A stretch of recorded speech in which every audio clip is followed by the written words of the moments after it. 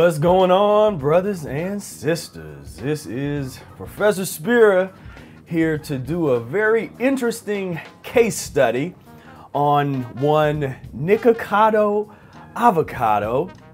And for those of you that might not know who I am, I am Professor Spira. I've practiced something called the mucusless diet healing system for over 18 years, and I've helped thousands, thousands of people learn how to properly transition their bodies and their diets in a way where they're able to sustain it and they don't fall off strange wagons uh, constantly and yo-yo back and forth. And you know, the mucusless diet healing system has saved my life and has saved the lives of many, many people. You know, I lost over 100 pounds, overcame a number of ailments, including uh, getting off of pharmaceutical medications for allergies and uh, had chronic bronchitis all the time, just a number of different problems. And so with Mucus Free Com is the website, and we uh, have a number of books in honor of Professor Arnold Ehret, who wrote the uh, Mucusless Diet Healing System, which is really the book that started it all when you're talking about raw foodism, when you're talking about naturopathy and modern concepts around that. Just totally transformed and changed the game. And unfortunately, a lot of people don't know who Professor Arnold Ehret was and his methodologies, yet they participate in modalities where he was one of the founding fathers, but he's not really give, been given his credit.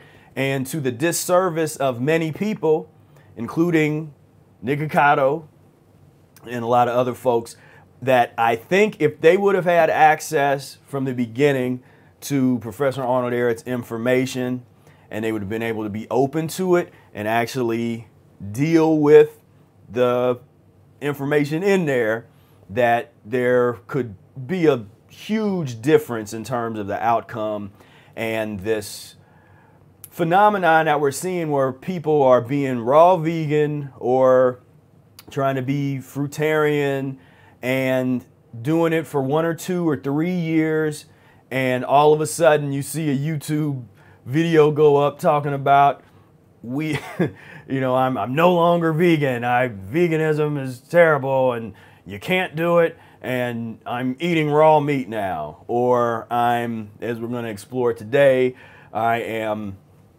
you know, muck muck banging, and uh, you know, and so, uh, so let's get into this first. I want to say hi to everybody that is on here. I'm going to bring up the uh, let me bring up the chat real quick. Give me a moment. And there we go. Just to just to let you know that this this is live. I didn't I'm not trying to trick anybody. I didn't pre pre do this. And so I want to say what's up to everybody. Appreciate everybody that's on here. Uh, we're gonna have have some fun, and at the same time, really hope that the we can learn a lot. A lo- uh, there's a lot of wisdom to be learned today. There's a lot of lessons that can be learned in terms of the magic word today is transition transition. If, if you're if you're by the chat, type transition in for me. I just I just want to see this. Type type the word transition in to the chat because that is the magic magic word and we're going to see what happens when transition goes wrong or when transition is totally ignored and not understood, not dealt with on any level at all.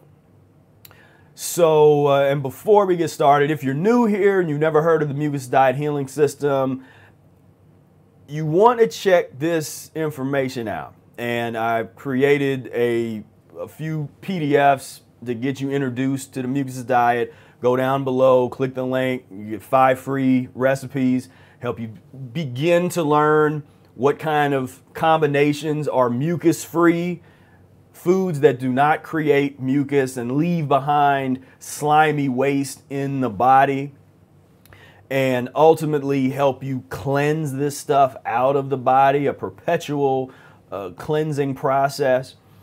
So if you if you don't you've never seen this before, you're brand new, you haven't signed up yet, go down there, click sign up and get your free gifts and get started learning about the mucus diet healing system and how it might be able to transform your life. Maybe you're already, you know, you've been raw vegan for a while or you aspire to be fruitarian, but it's hard. You're no, you're starting to notice things as did Nikocado that he wasn't eh, started not feeling good doing what he was doing and because he didn't have access to this or didn't he had access to it but he didn't check it out he will we'll see the extreme transition that he went into there's other case studies we can do of people getting into the carnivore uh, thing eating going from you know 40 day juice fast, and then all of a sudden they're getting into eating raw hor- uh, horse and whatever it is they're eating raw buffalo and that kind of stuff. We want to avoid you know all that. We want to avoid all of the insanity. And so let's uh, let's let's go on ahead and get into this a little bit. So the uh, person in question today one Nikocado Avocado. Now, I remember him before he became a, a, a, YouTube celebrity and a lot of people knew who he was, that kind of stuff. He was a someone getting into raw veganism and a blogger. Now, I don't remember which group this was in, because back then I, I was in a lot of different groups trying to, you know, eat, show people the mucusless diet, but I had to be crafty about it because people would just reject it immediately. So I had to, you know, I was in these little Facebook groups trying to share things that related to what people were talking about and that kind of stuff. And I remember he would often share his videos in there and the vlogs of his journey and eat, eating a lot of vegetables and that kind of thing. But it seemed like there was he either wrote a story or he said a, said some story where he was going through something. It, he wasn't feeling good or something was wrong.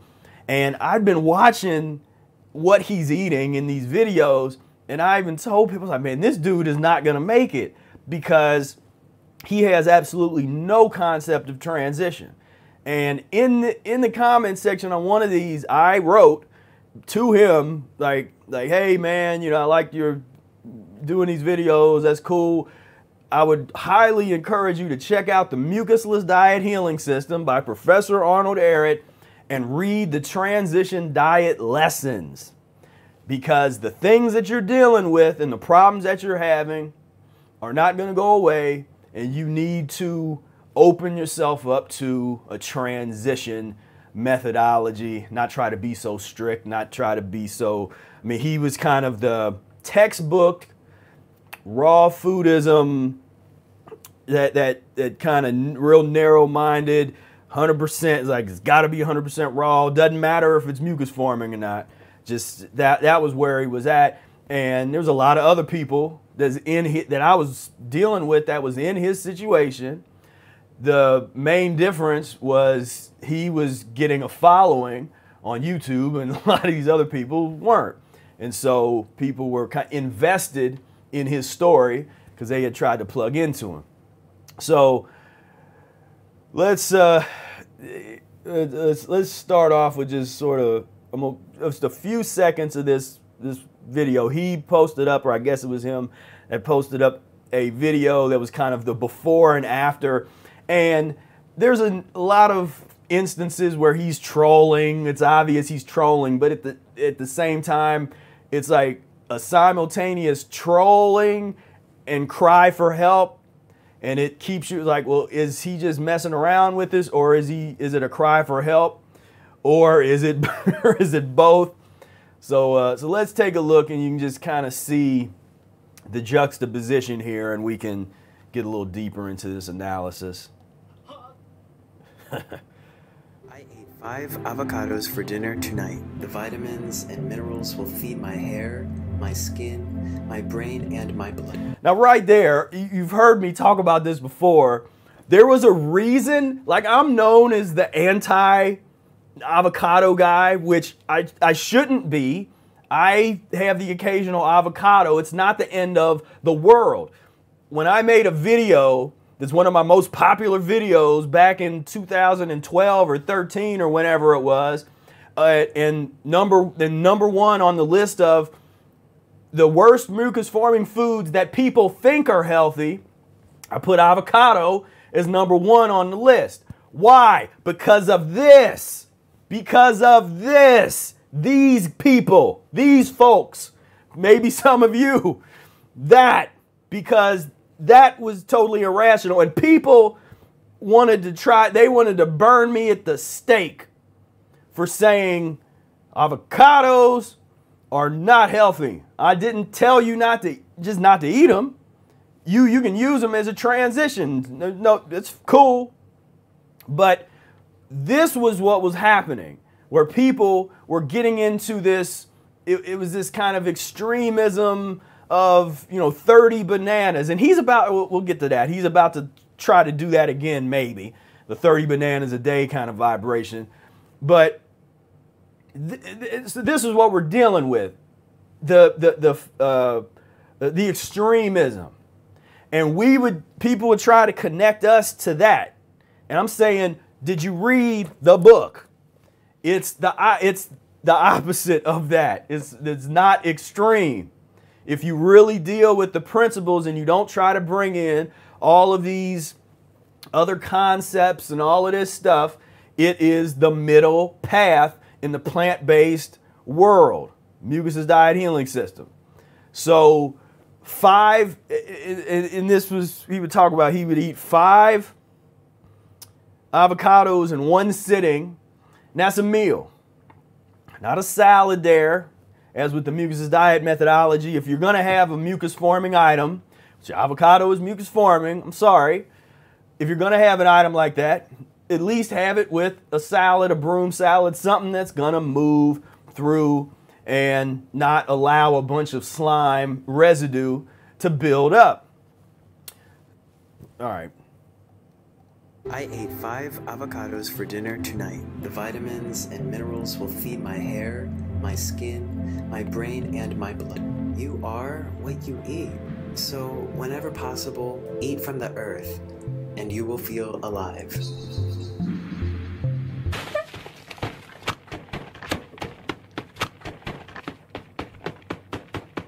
I've eaten more avocados than any other person on earth that I know of. If every ounce of fat you ate was the fat you wear, I don't think I'd look like this. Turkey baster, up in here.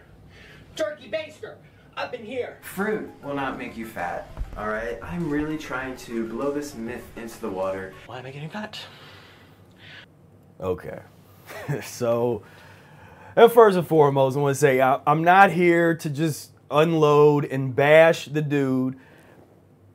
You know, he's made this whole this public, and he's obviously he's making fun of himself with it, and he's he doesn't appear to care in, in terms of that. So I'm not here to just be bashing him, and that that's not the purpose of this. Now I'm gonna laugh at stuff that's ridiculous, and I'm gonna call out stuff that's ridiculous, but the, it's it's all it's. Uh, it's constructive. This is this is constructive analysis and criticism because there's I know there's other people that's in his situation that's getting lured in by the the kind of the extremist lustfulness.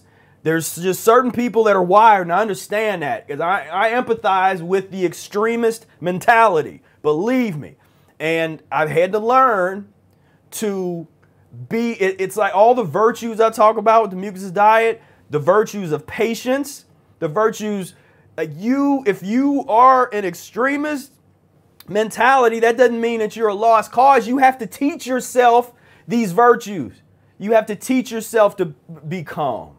You have to teach yourself let go. All of the, you know, let go of the ego, let go of the wanting immediate gratification, wanting to be at the top. Because I always get those questions like, well, how long does it take to become mucus free? How long is the transition?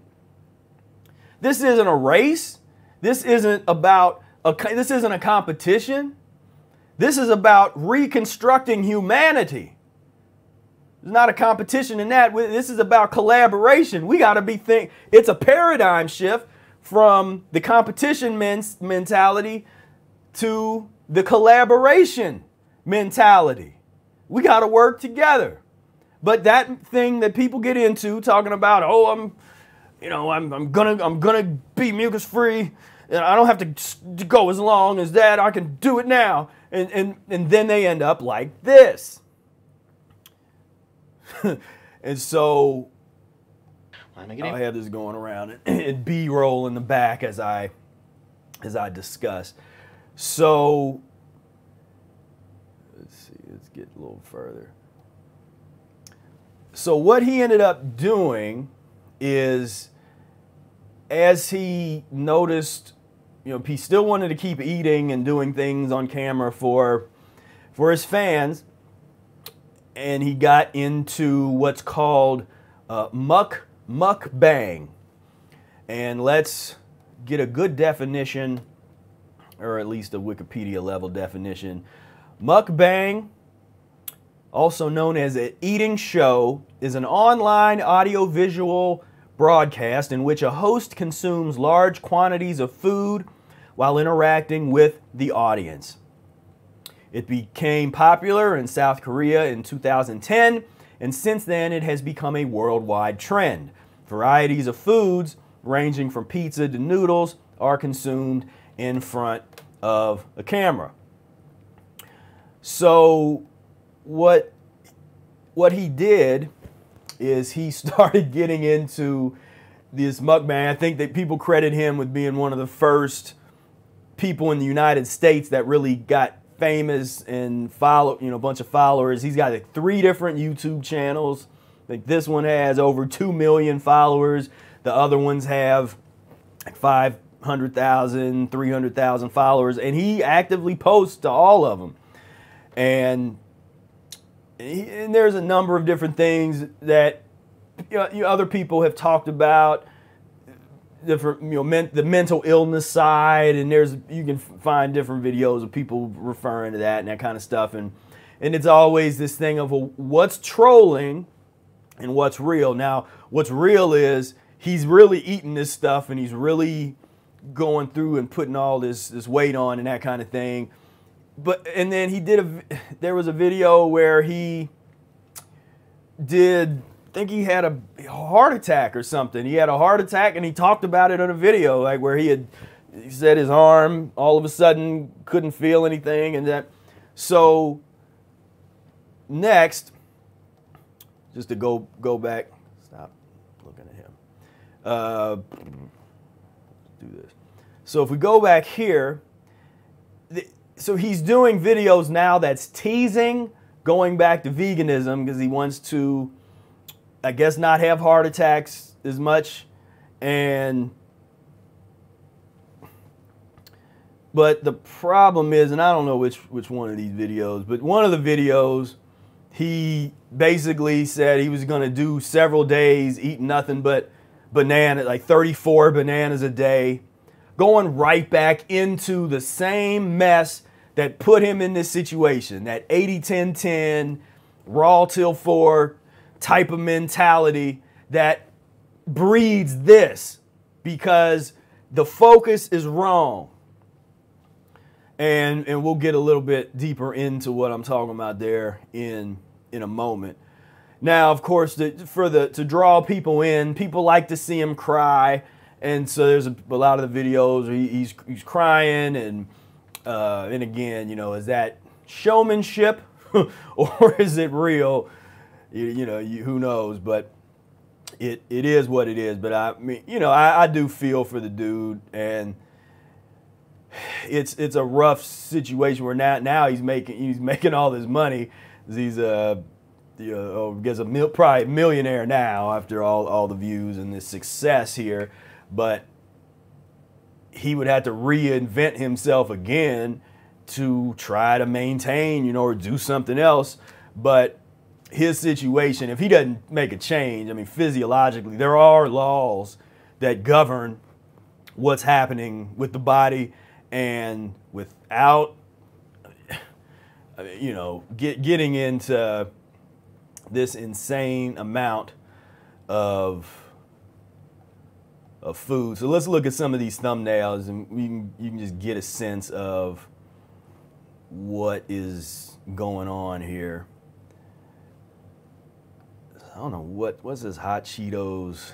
He's obsessed with this hot Cheetos thing, like making all kinds of hot Cheetos stuff.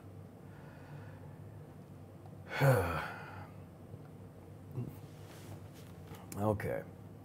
So when I talk about pus and mucus culture, pus and mucus society, in a in a pus and mucus world, in a pus and mucus based society and culture, this, somebody killing themselves, eating just pure garbage, gets 2 million, 2.12 million subscribers. pus and mucus culture, if you don't see the world through that filter, and when you go down the street and you see the billboards and all the commercials and the McDonald's and the Taco Hell, like if you don't see the world like that, if you don't understand that you are inside of something that's built on pure madness, behavior, connection between behavior and what you eat. There's not enough focus on that because the people that would need to focus on that are eating the stuff that they shouldn't be. That is turning humans into the lowliest of low animals. And so, but this is what gets attention. This is what gets elevated. and and that and the and it's and it's on both sides the extremism if somebody comes out and they're doing a, a two years on juice they're going to get a lot of, of viewers and subscribers. People don't like the middle because the middle isn't as sexy. It's not as exciting to just stay the course for 20 years for 30 years for 40 years. Just stay the course and improve a little bit every day. Improve every day a little bit. No, people want to try to skip over the work and, and, and go right into whatever they think they should be in their head. And sometimes it's based on ego because they'll start looking at what other people have done. Especially this all this happens a lot in the fasting area where people put out videos talking about I just did a 20 day fast, I did a 40 day fast, like blah blah. Then there's these other people that are looking and they're like, well, if so and so could do that, I can do it too. And it's like this ego trip. That's not, you should never fast just because you saw somebody else fasting. You should fast because your body is telling you that that's what it needs. Or if you can't hear your body yet, then you deal with the with the methodologies and and you deal with the fasting methodologies and the transition diet methodologies and you go uh, you know go the course that way. And, until you reconnect with yourself and you can hear what your body is actually telling you it wants so wow.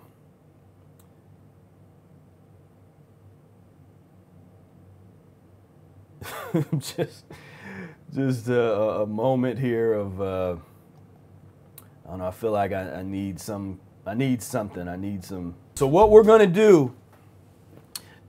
This is gonna be the first, and this might be the last. Professor Spira is going to have the mukbang moment. So we're going to do the mucus-free muk- mukbang right now. It's gonna be a short one. So so here here we go. I got some organic grape juice.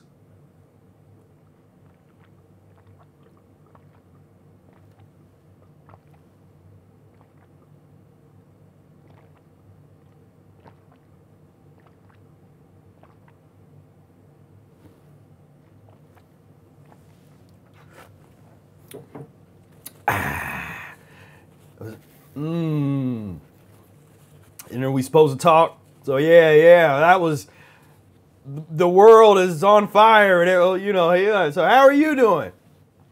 Was that was that fun? Was that is that what that is? That millions and billions of views all over the world of different people just eating and talking. I don't even know why I'm surprised. Why am I even surprised at anything produced by pus and mucusdom? Why?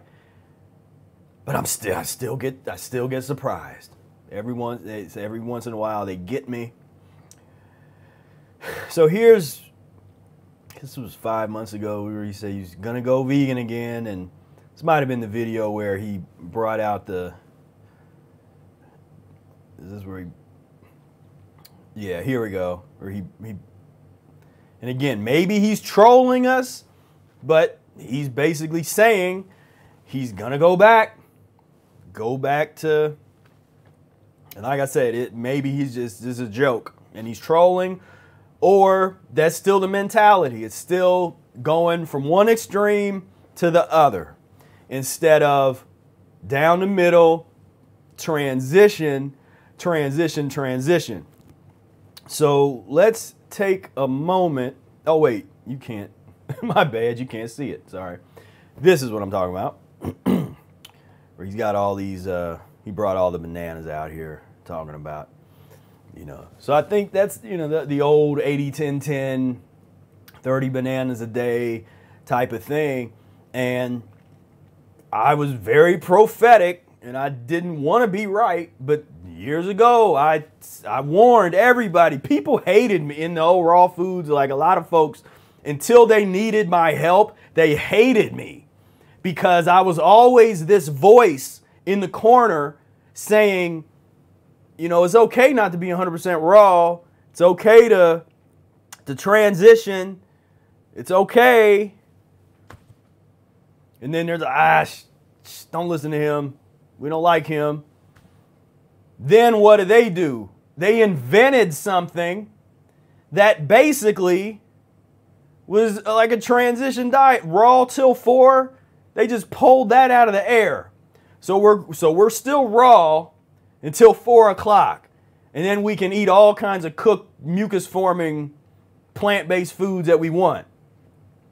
And if you watch that, it's like that the whole raw thing literally transitioned downward and degenerated into, and we, me and uh, Steve Prussack talked about this in our interview several weeks ago, and he was at the forefront of all that, really dealing with a lot of the folks in the raw world, and some of the main people were going from staunch plant-based rawism to starting to eat carnivore, like raw meat. What? So it's like raw is law Raw by any means necessary is the mentality. And I've always hated that. And I've always fought against that in a, trying to do it in a loving way, in a, in a constructive way that just doesn't go and just cuss a bunch of people out for being stupid. And so I tried to just, you know, like, well, hey, because eh, what I ended up having to do is is plant the seeds because I knew it wouldn't work. So I would plant the seeds and say, hey, well, you know, good, good job, buddy. But if you ever want to take it a little slower, or if you ever find that you start having incredibly uncomfortable symptoms and things aren't going your way, check us out. you know, to, don't go all the way back to, you know, to, to Popeye's chicken land. Let's come to the middle path. Come to the middle way. Let's let's deal with that. And a lot of people did, and I'm happy they did, and a lot of did end up benefiting from dealing with that middle way. But it's very, I've just seen it's very hard for folks that have been stuck in that mentality to break free of that because it's so that particular dogma is, is a it's a it's a rough one to get through because people grab on a hold of it and you know it, it's like it hurts to let it go. It's like no don't don't let it don't let that go. Where that middle path is like look we're focused on removing obstructions from the body transforming your body and your diet over time permanently making permanent changes if you transition properly you will make it impossible to go back to certain things, at least without transitioning back. There's no way that I could eat like like some like fish or something. I mean that I would I would rather drink a thing of bleach. But uh, physiologically, it would probably it could very much kill me. If not, it'd make me ill. I'd be sick for months, but it could kill me, especially if I if I hadn't been eating a whole lot of of mucus forming stuff, it'd take me out. Now, I it wouldn't have taken me out the first month of practicing the mucus diet or the first several months of practicing it. I trans I transitioned and transformed my body over time. And that's what happened. So I want to read an excerpt from Mucus Diet Healing System. This is uh, Confusion in Dietetics Part 2. And there's a section on raw food diet. So I'm going to get real close here, try to make it big enough for you to see. And I will read the, uh, the paperback version. Here, and Ehret says, at present, among the vegetarian health seekers, quote, raw food diet is in fashion. No doubt it represents great progress, but the arguments are partly wrong and lead to mistaken and fanatic extremes.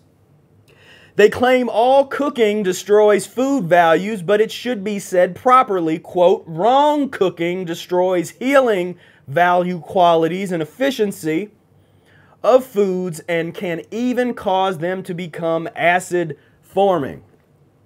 The quote, raw food experts hint on the same wrong stress as all others. That is the higher food value. In other words, nutrition concepts. Every, when it, where it says higher food values or food values, that is nutrition concepts, which leads to much of the problems of the 80 10 10s, of the that entire raw food aside. He nailed this in 1920, hasn't changed. The entire effect or benefit from raw food is the rough fiber of uncooked vegetables, which relieves constipation and acts as an ideal mucus broom in the intestines.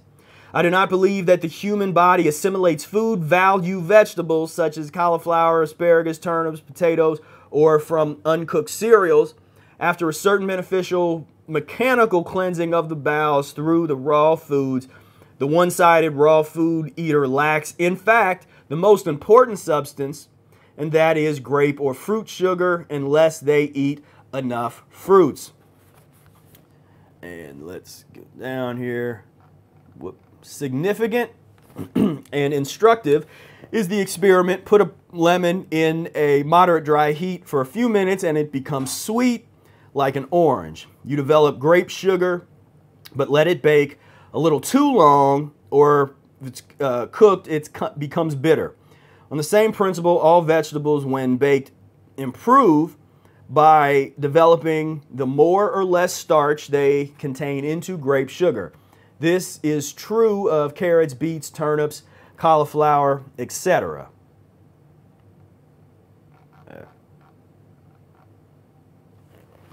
Raw fruits. Now, this is important. Listen, listen.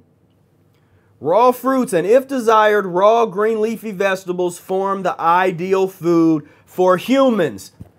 Most people stop there. Many people that read the book, that's all they see is that first sentence. Raw fruits and, if desired, raw green leafy vegetables form the ideal food for humans. That is the mucusless diet. But the mucusless diet as a healing system uses raw, rough vegetables for their cleansing qualities, baked ones as food, and baked and stewed fruits as a less aggressive dissolver of poisons and mucus to moderate the elimination in severe cases. That is one of the most important principles of the system, a point the raw food fanatic ignores entirely. Eating raw potatoes, raw cereal, and unfired pies is, in my opinion, absurd and worse than if they are carefully baked, which means developed the starch into at least partly digestible gluten and grape sugar. So many people say that Professor Arnold Ehret you know, you say his name, then like, oh, are, are you raw? Are you 100% raw? You raw foodist? He just trashes that, that whole mentality. He's not saying to not eventually transition to be raw, but you would bet you better be mucus free. By the time you become raw, you better be 100% mucus free where you've already dealt with all the mucus. Once you get to that raw level, you're just you're you're cruising. But that's not what most people do. And what ends up happening a lot of the raw food is they get into this, they might start off kind of raw and mucus free for a while, but it doesn't take long where a huge portions of their diet are based on the and sort of centered around the mucus forming items. So let's consider fat, because that's kind of the big thing. Well, maybe before I do that, there I, I did have a note here. Let's look at note 62. The raw food diet or raw vegan diet refers to the practice of consuming uncooked, unprocessed, plant based, and often organic food as a large percentage of one's diet. In practice, some raw foodists find it acceptable to frequently use blenders, food processors, juicers, and dehydrators, although other practitioners view these as forms of processing and avoid them. Some will also periodically eat cooked foods or mucus forming raw foods. And the term vegan was coined by Donald Watson in 1944 to draw a distinction between a person who abstains from all animal products, including eggs, cheese, fish, etc., from vegetarians who avoid eating meat but still consume certain animal products. Once all non-plant based items are eliminated, the mucusless diet becomes by definition vegan, yet many food uh, uh, yet many foods thought to be acceptable in veganism and raw foodism should be avoided or systematically transitioned away from when practicing the mucusless diet healing system. I'm not going to get into the vegan debate at this moment. If you want to, there's I got a uh, uh, find the article on mucusfreelife.com. Uh, plant, uh, mucus free, the original vegan diet. There's a whole history where we put Arnold Ehret's work into that history of veganism. And I already, I know people say, well, vegan, it's all about the animals. Look, we're, we don't, we're not have to have that debate in this one, not this video. It's, it's, it's not, it's not the time. So plant-based, vegan, whatever these words. I mean, they're not that not that important. They're just to get you in the door. You know what I mean? They just, just to kind of get get it happening. But the difference here, like with the mucusless diet, we call ourselves practitioners. You practice a mucus-free diet. When you practice something, that means that you're not there 100%. You don't have to be. That type of pressure isn't on you. We, there's not a pressure to be 100% mucus free. Nobody is going to lambaste you and make videos tearing you down because you ate some mucus forming foods. That's built into the system, into the transition diet. You're supposed to eat some mucus forming foods as a part of the healing system to get it out of your system, to get beyond worst mucus forming foods. So let's look at the fats question According to Arnold Ehret, all fats are acid forming, even those of vegetable origin. Let me say it like 20 more times. All fats are acid forming, even those of vegetable origin, and are not used by the body.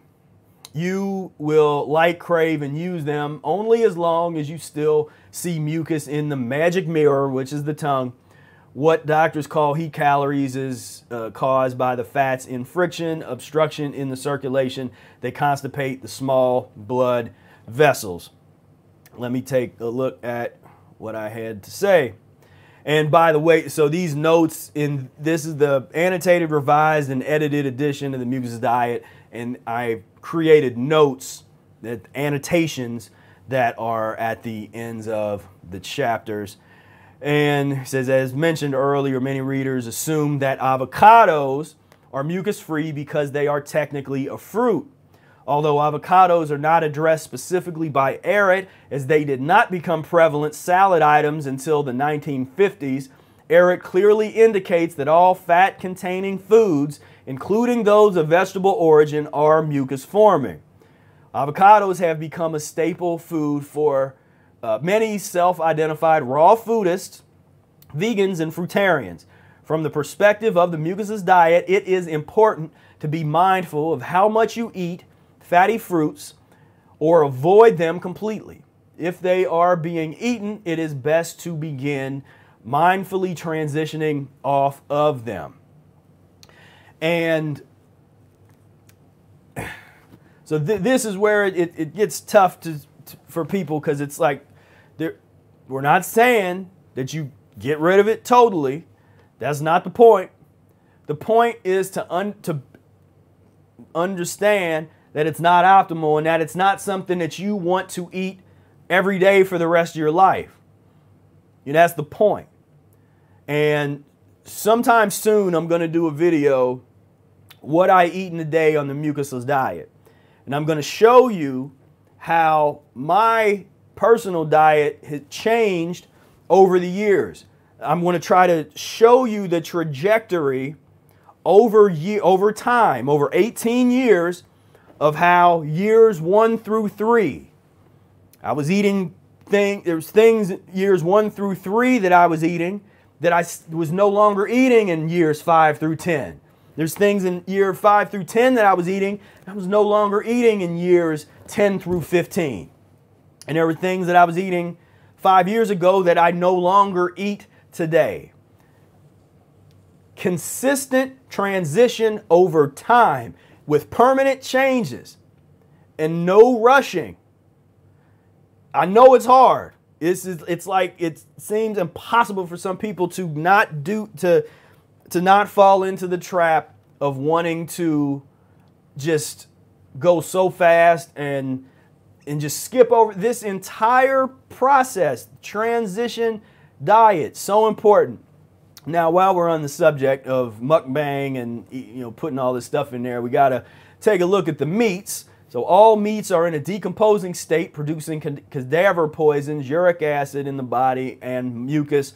Fats are the worst. Even butter is unusable for the human body. No animals eat fat people are gonna say, well, animals, yeah, they eat. If you just have a big, if you killed an animal and you just took all of its fat and you just set it there and you put it in the tiger cage, maybe I'm wrong, but I really don't think the tigers are just gonna go and just start eating that fat. Now, if the fat is, if there's if there's fat and meat, then yeah, it's eating everything, but it's also eating the feces. So if you want to be a carnivore, and you're if you want to be a carnivore and you're not eating the feces of the animal that you are eating, then you're not doing it right. because the animals go for the gut. And I got a video of it, but I'm not going to get it now as it's buried somewhere. The, the animals, that first thing they do is go for the gut, which when they're eating herbivores, what is that? It's, it's almost as if the tigers let the, let the herbivore eat it, partially digest the plant substance, and then now it's going for the gut. Eats that partially digested plant substance, gets in them intestines. And uh, in that video, I got the, it's, this tiger, I mean, it's just sitting there licking this feces right out of the animal, just, ah, you know. And so, if you want to be a carnivore, like I said, do what you want to do. I just, I just, I just want to help you. I want to help you be the best that you can be. If you want to, if you want to be the best carnivore, you got to eat the feces. Don't skimp on the feces eating of the animal. And it's got to be the, the feces from the animal that you're eating. Don't get some other feces from some other animal and try to combine that with the, with the meat. That's, that's not how it's done. You got to have the feces from the animal that you killed with your canine teeth. You jumped on the back of the animal. You jumped on the back of the cow. You sunk your huge canine teeth into its neck, killed it, and then you can partake of the feces and the meat. Or don't call yourself a carnivore and don't call it a carnivore diet. Down here in lesson 15, so this is the all important, we, we just got to get a transition diet. There's three transition diet lessons. And in this first section, we have a little information. Menus for the first two weeks, but down here again, just to deal with this fats thing. Fats of any kind, including ordinary butter, are unnatural and therefore should not be eaten. However, should you crave fats, it is best to use peanut butter or some other nut butter on your bread. So, the way I actually look at avocados is like a natural butter. And so, instead of taking some, soaking some nuts and that kind of stuff and making your own nut butter, uh, or going to the store and getting one of the natural nut butters in the thing, depending on where you are physiologically, a little avocado butter, just avocado, you know, you take like one avocado and you make a dressing out of it, or that, that's okay because you got to monitor the elimination. But when you have a bunch of avocados, or that's all you're eating in one sitting, yeah, yeah, it's gonna gonna be some issues with that. It's it's not gonna work. So, and you know, and you know me, I could talk about this stuff all day as far as the, the mucus diet healing system book and going through it. But the main point that I wanted to get across with that was first the, the to, to just deal with and address the raw food a lot of the raw foodism dogma and how well Ehret appropriately addressed the issue that it's like that could just be written, could have been written today because it's not changed. It, the warning has not been heeded. This is about transition, transition diet. And, the mucusless diet, you know, that I, I, I have a number of videos on this channel. There's a playlist that goes through all of the transition diet lessons. You check those out. And, you know, we got this, we got the Mucusless Diet Healing System e course.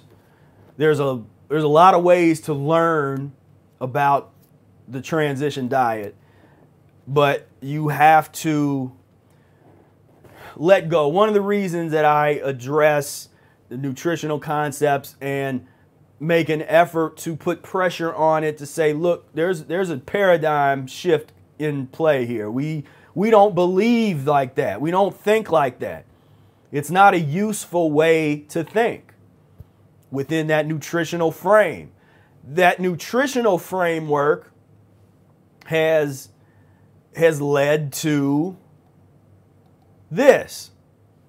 This, this is where that goes, the, that nutrition concept. You know, the 30 bananas a day, as long as you get enough calories, it's okay. As long as you get enough whatever, with no thought of elimination, no thought of how much uneliminated fecal matter is being backed up and backed up in the system, acidifying, turning into just toxic, slimy sludge that the body tries to incorporate, tries to deal with to keep you alive. That's not a topic of discussion generally. That's not at the forefront of the discussion. And so as long as you're, you know, because hey, he, he's getting all kinds of nutrition. He is nutritious. He's got all kinds of, mm, I mean, you just, he's got it. He's getting it all. All the nutrition, he's getting it.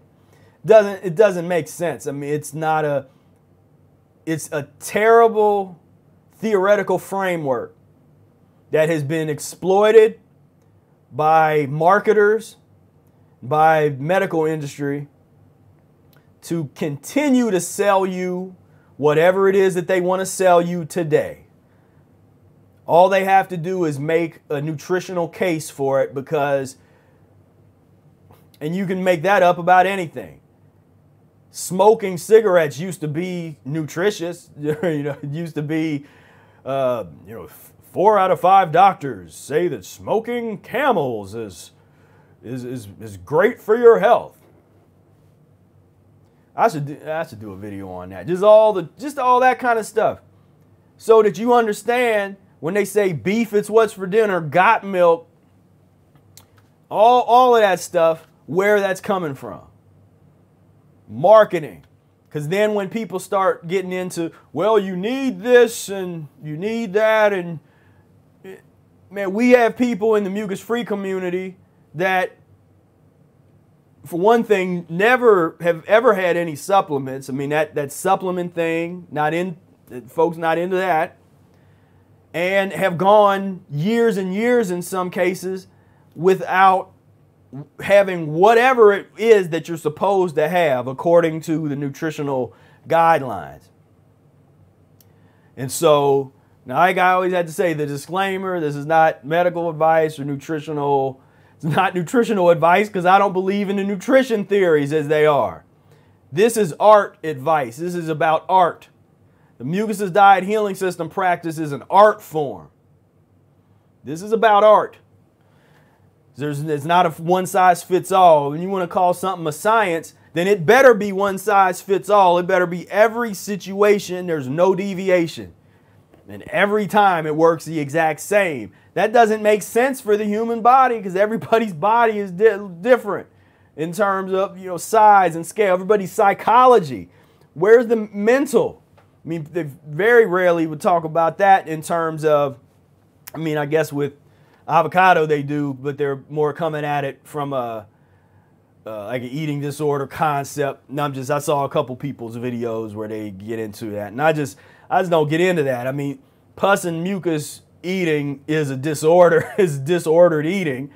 And so, but it's about transition. It's not about for us. We're not, there's not a pressure. Like I said in a previous video, I am very, uh, uh, you know, I, I like to see people be eager and aggressive with getting into the mentality, getting into and adopting that mucus free mindset and committing to the path. But once you're on the path, find your plateau points, take your time. There's no rush, there's no competition. Don't try to look at what I'm saying that I did or I'm doing or Brother Air and say, well, I got I'm gonna try to do that or I'm gonna fast like Brother Air or I'm gonna do that you know, especially when it comes to the food. Maybe with mindset. You know, if you want to do something like, because this was, you know, it, when it's on the, if you want to try to do some of the things we've done on the social level, I mean, good luck. That's hard for most people to to do what we did in terms of the social part, which is one of the reasons that we were so successful. But in terms of the actual eating part, there's no pressure for me. And I and because you will relapse. But if you transition properly, the relapse is is is incorporated into the transition. It doesn't doesn't harm you. But what some people do, they do a 40-day water fast. They have didn't transition ahead of time. And then when they break, they either break it terribly with one of these meals, or they might break it with some fruit or break it with something. Then a couple days later, they're eating one of these meals. That's not at all what Arnold Ehret recommends when it's called, when he's talk, it's called rational fasting. When he's talking about fasting, that's not what you want to do. Short term and over time, 24 hour fast, one meal a day plan, fast for two to three days, and then eat mucus free, eat the transition menus. There's a you know whole other thing. Colon irrigation, I haven't mentioned that yet. Lemon juice and distilled water enemas. If you want to learn about that, find that video on my channel. Lemon juice and distilled water enemas, very important part of the process. Oh boy. just just had to, had to take a take a mukbang break. Muck mukbang break.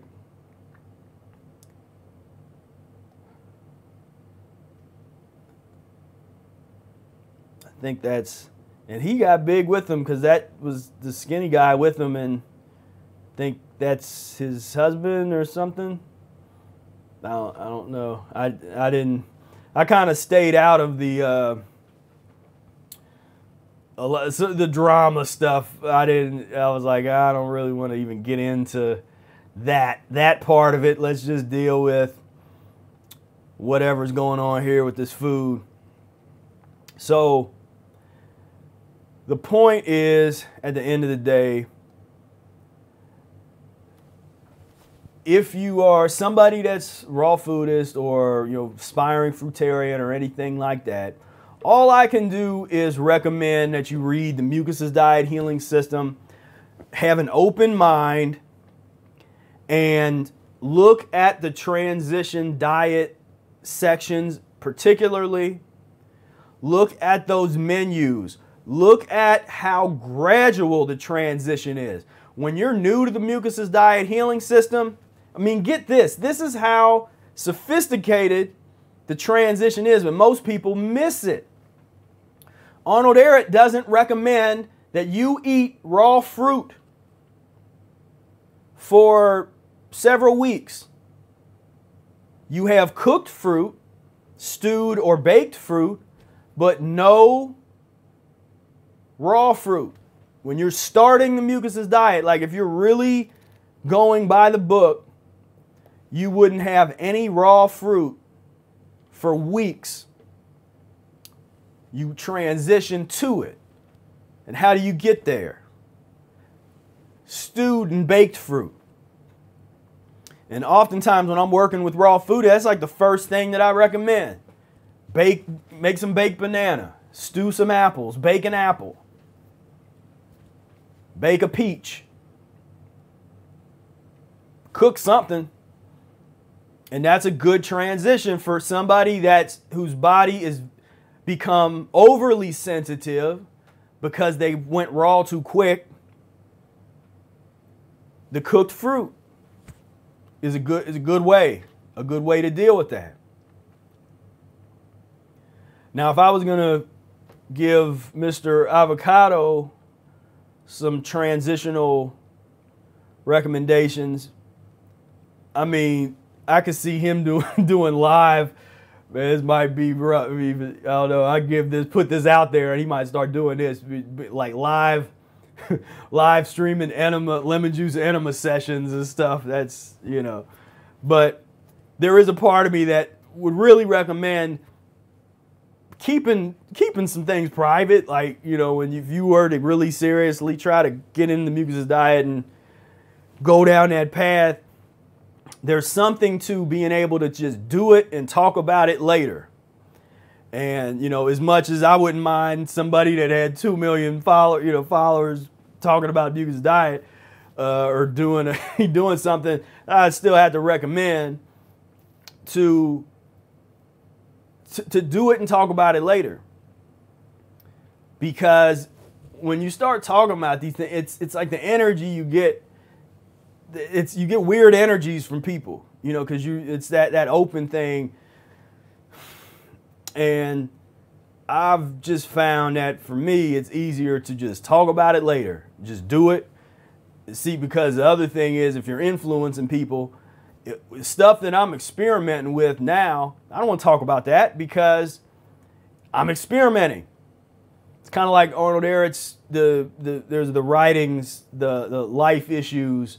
There's a, there's a number of writings that haven't been translated to English. One day I might po- post some of that up there. We've had a few people that actually have translated quite a bit of it to English, but uh,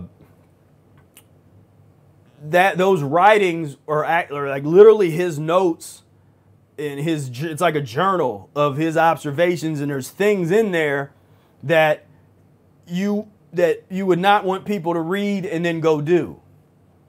So you would have to be a more advanced reader, an advanced student of Ehret's work to really get the, in my opinion. Or you could read that, take some bad, you know, make some bad decisions based on some experiments that he did, not taking that into account that it was uh, experimentation. And so, uh, so that's the key. So, if I was to say for him, like, all right, well, first, yeah, lemon juice and distilled water enemas, that stat. You know that that that needs to that needs to go down and start bringing in the, the fruits and vegetables again and the salads. But i probably wouldn't even recommend raw fruit to him. It'd be like he start at the very the very beginning of of the transition transition diet you know just just weeks weeks one and two and uh, say weeks one and two, lunch, a combination salad consisting of raw grated carrots or coleslaw or both half and half, and two or three spoonfuls of stewed or canned vegetables such as green peas, string beans, or spinach. Add to this one of the following items, whatever is in season cucumbers, tomatoes, green onions, lettuce, or other green leafy vegetables, celery, etc., but only a sufficient amount for flavoring. You you may use an oil dressing according to your taste of desired, using lemon juice instead of vinegar. It go, goes on and on, but the oh the toast toasted wheat bread, whole wheat bread. But so so even even then, you know, you're gonna have to eat some quantities. You know, you eat some some serious quantities, but you know, it, it can be done. And honestly, there some of the things that I talk about in in uh, the Spira Speaks would probably be better because I was coming from. I mean, it, uh, this dude kind of gives me a run for my money in terms of amount of food. Because I, yeah, I used to think that I was, because I'd sit down. One of my famous meals was at the root beer stand. I get two foot longs of chili and cheese with and chili and cheese, a cheeseburger, a root beer, a root beer float, and popcorn all in one meal, and I would do that a couple times a week. So th- that meal could it could it could hang, you know, it could hang with with some with some of these, uh, you know, some of these ones like that. So I've I've eaten. I've eaten this amount in one sitting on a regular basis, and some of these, some of these are a lot, are, are a little bit more than I would have ate. but like I don't know how much of this, this if he did he actually eat all of this?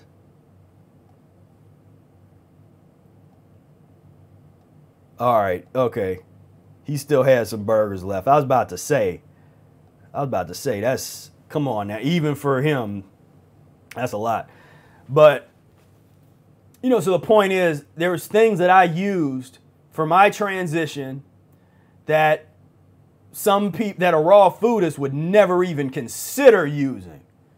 Or a raw vegan, I mean, they would never, ever, ever consider using things that help me go from something that was more like this to be able to practice the diet, to be able to eat fruit in the afternoon, salad in the evening, or like to I haven't eaten any solid food today, but it's not a big deal. It's I don't even it's not I don't even look it's not fasting. I'm just I had some I had some juice earlier today and I had this juice.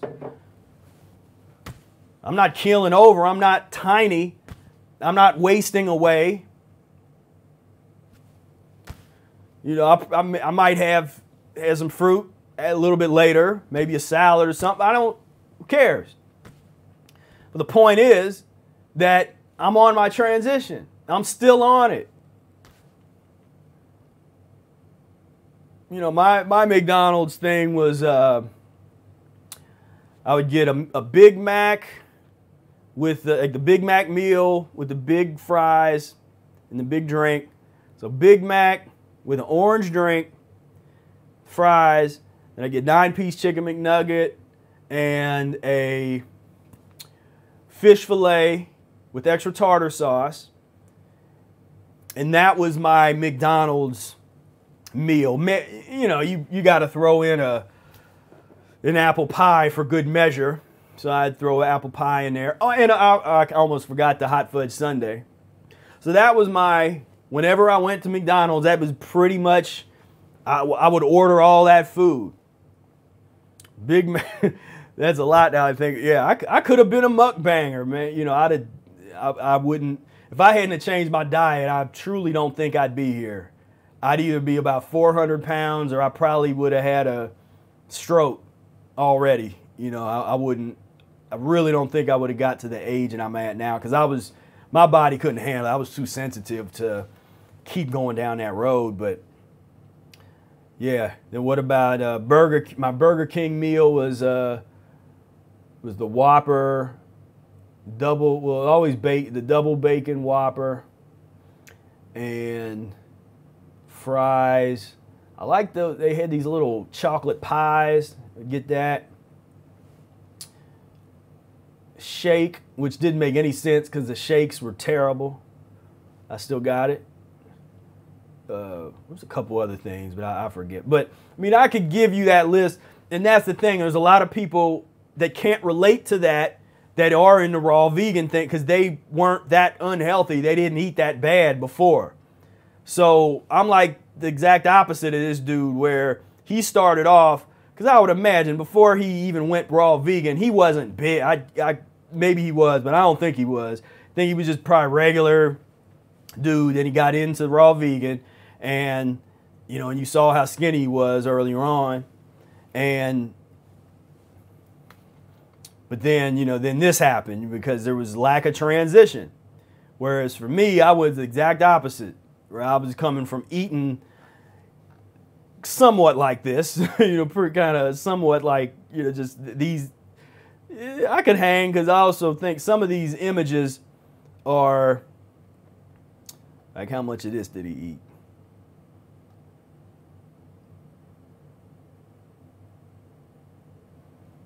See, he's not finishing all these meals. He's putting some of this stuff back in the. Hold on. He's not even finishing all this. He's putting some of this stuff back in the refrigerator. What's that about? I thought you was supposed to finish it. So they so they fooled me.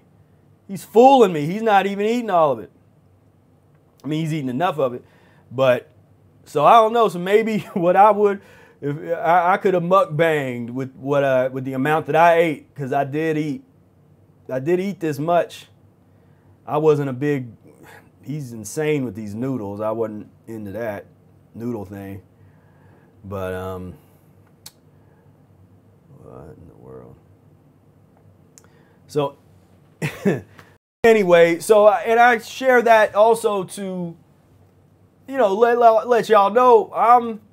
I know about this because I come from this in term that this level of terrible eating, the that gluttony, overeating. I know all about it. And if it wasn't for the transition methodology and the mucusless diet healing system, I would not have went plant-based or vegan or any of those words you want to use. It wouldn't have happened. Because the way that raw foodists, most raw foodists come to the table talking about raw foodism, I would have never gotten into it like that. It just wouldn't have happened. I never would have gotten into it, it doing it the way that it's presented. I would have just been like, "What? You no cooked food? No." It would have made no sense. That wouldn't have resonated at all. I'd have moved on. What was different about the mucusless diet? I met Brother Air. He told me he ate nothing but fruit for an entire year. So even though that sounds extreme to somebody that has never heard of something like that, he was able to back it up with a methodology that made sense, saying he did that on year 20.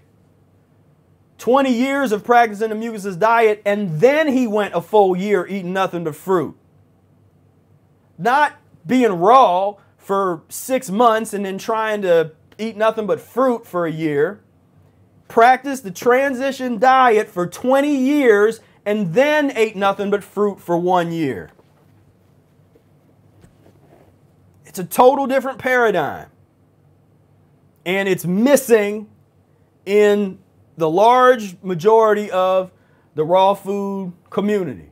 Now, I would love to see raw foodists embrace the mucusless diet and, and just kind of say, like, okay, we're going to be rational now. Where it's, it's okay. If you want to be raw and you want to be raw and mucus free, um, I'll be your cheerleader. But if you're not, if you if you don't respect the transition part of it, then I know it's going to happen. It is not going to be pretty. Because over and over and over again, the same thing keeps happening. So, what I try to do is say it's okay to eat things that are transitional. Don't be guilty. Don't be hard on yourself. Even if you have a relapse and you go back to some other crap, be gentle with yourself. Be loving with yourself. Not hard on you. You don't have to be hard on yourself for that. And this is, I think, again, where I, it gets misconstrued with me. Because I'm hardcore on the mentality stuff. Probably too hardcore for some people. When it comes to moving mentally, and it, like I, I'll, I push fast. Like I, I probably push too fast for some people.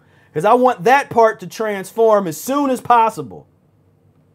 But the physical part, that let that go through its process. Or again, you, you end up in in this this this this land of uh is it was that a breakup video? I get this I don't know, these these this dude might plan this stuff out and write these scripts.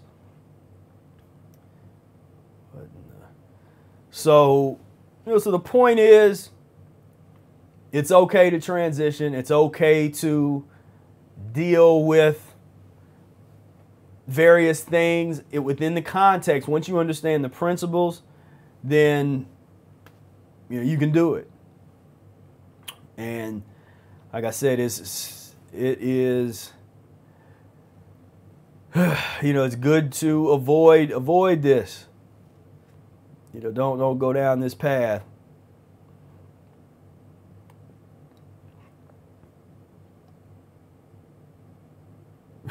she's got a shirt and she's smoking a cigarette. She got the okay.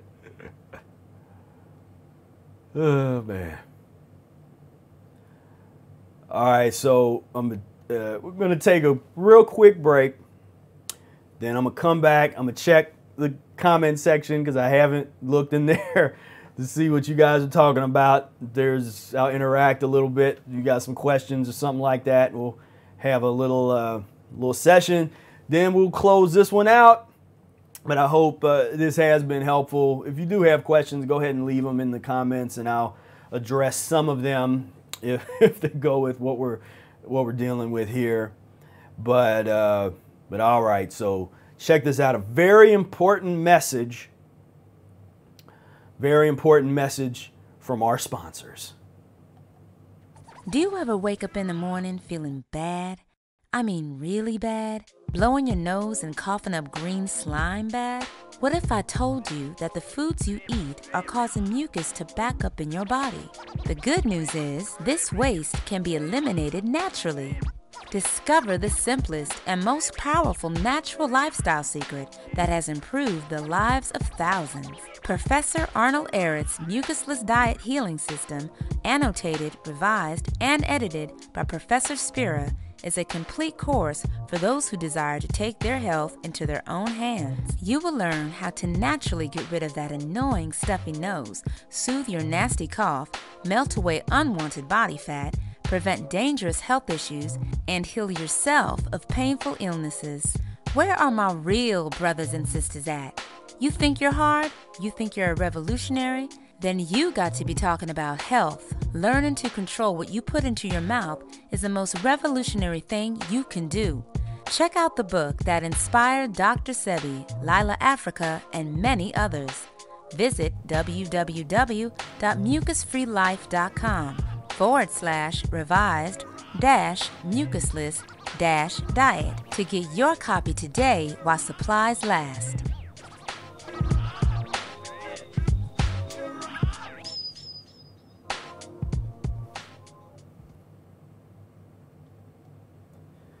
All right, welcome back.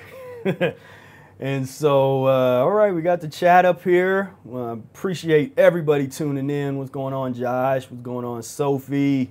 What's going on, Vincent? And uh, Vincent says, squash in the oven, tomato sauce warming, salad mode. That sounds good. Seeing those old foods still play with my mind a little bit. Yeah, yeah, it takes a while to get to that point where it just don't even respond or react to to those foods. You know, it takes a minute, but the, the squash that's like a magical transition tool, man. People sleep on that when you get into the acorn baked acorn squash, baked spaghetti squash with with a little tomato sauce, a big salad, toasted, you know, the toasted wheat bread I mean, you ain't hungry after eating all that. You know, I don't care where you came from. You know, these are transitional meals that people can get into to be able to sustain the diet. Because as you go through the process, you will continue to, you'll get to a point where you no longer want to eat that much and eat those things. Because I haven't had, I mean, as much as I like the baked squash, I haven't had it been a long time now that I think about it. And I used to have those all the time, but it's been a long time since I've eaten that. Because I keep, I, because I, I also don't get too attached to anything that I'm into. I just keep on moving. Just when my body's ready to move, when my mind and my body's ready to move on, we just, just keep it, keep it on moving. What's going on, Kathleen, Michael, James, Josh? See. It's all about transition. That's right, James. Sophie says it can play with your mind, biology, ego, parasites. I guess that's parasites. But once you eat it, you probably realize you don't even like it anymore. Yeah, that's that's the thing with the addiction, and you know I have a whole series where I talk about addiction to pus and mucus forming foods. And again, it's a different paradigm. We're looking at these things that they cause a great deal of addiction. And that's why you, you know you got to take take it slow and be gentle with yourself getting off of it. And uh, oh, thank you everybody for typing in the transition, getting getting that rolling. Sophie says eventually your physiology naturally adapts to your addictions changing and nourishment, soul reclamation. Yeah, peep, we have as a species, we've just transitioned in the wrong direction to a point where we can sustain eating the way that we can for as long as we can and, and, and really it's who knows how long i mean the, the time is going to get short like i said the nikocado avocado had he's he's got to be younger than me. I mean, I don't know what his age is or was he? Uh, I think I saw his Wikipedia. He's born in not in the 90s, early 90s. I mean, he's in his late 20s or something, and he's already had a heart attack. you know, I mean, that's, man, that's really, it's like, okay. I mean, that's like the question. You could be famous and a millionaire, but you have to have heart attacks and you're probably going, and you might pass away at a very young age in your 30s. Or nobody could know who you are and you transition yourself to a point where you your body doesn't have pain. It's impossible for you to have a heart attack, and you can live. You know, the older you get, people say, "Oh, wow, you don't look that old." I mean, that's a choice. Some people choose they would rather have the money and the fame and die young than to not have any of that and just live a calm and peaceful life. You know, that pus and mucus drive makes people want to have that that chaos in their life. They would they it's really messes with your decisions. And that's that shows you how right there how terrible the decisions, you know, the decision making process is when you start to get really taken over by the pus and the mucus eating. And uh, let's, let's get going down here. People probably reacting So what's going on. Dun, dun, dun, Let's see. Does anyone else have emotional detox after lemon enema? Mm. Yeah, I know what you're talking about. Yeah, sometimes I do. You, you have that lemon juice to the distilled water enema, then you know it's like stuff starts coming up. There's a limit, that emotional elimination. You sitting there just start getting emotional, you know, shed a couple tears, and it's like that old ancient stuff is coming out. The emotional, that old emotional grime is coming on out. Anthony said, used to dip the apple pie in the caramel sundae. There you go. yeah, that, that's, that's how you do it. Uh, I X all those said I used to eat like that. And uh, Sophie says she never ate that bad. That that's good. That is good because Sham said can mucoid plaque stunt your growth if you have it from from being young eating chips and all. If so, can you regain your height after getting mucoid plaque out? Thank you. I mean, there's a lot of things that are possible when you start to clean yourself up. I mean, I can't say for sure in this particular case. I can talk for myself. I mean, I had a number of things change in terms of my bone structure.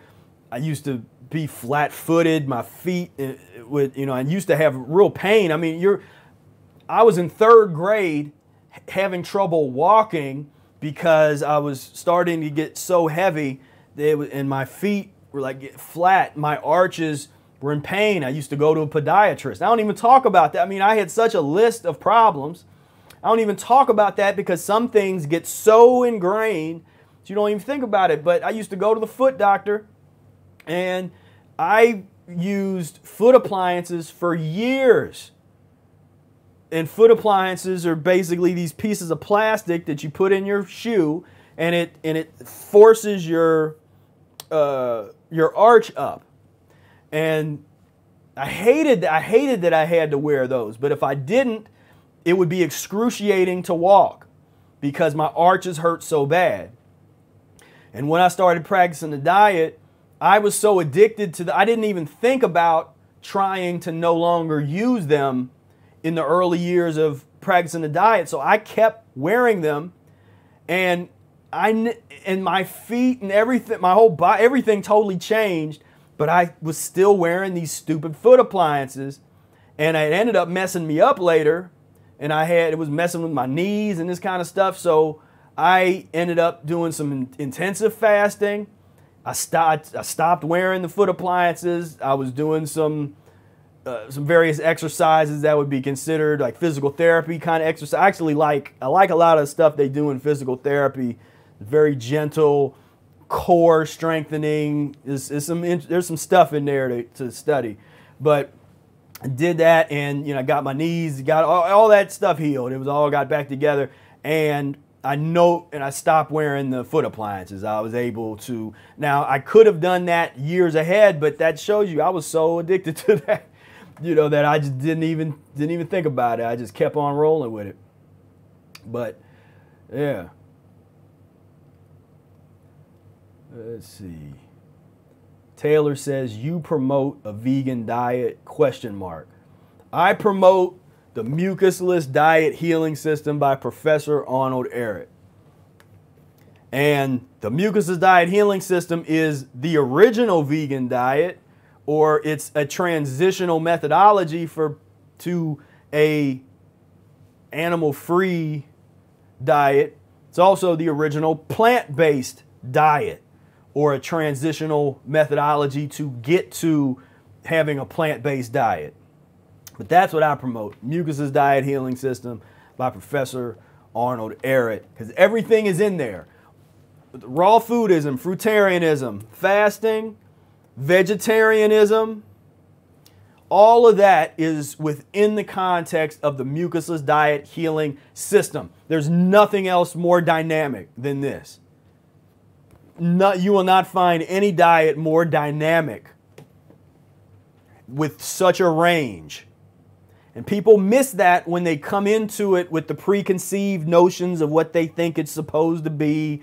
If they're reading it thinking it's going to be all fruit, then that's the book they read. It's like they almost bring to it and impose their belief on the book.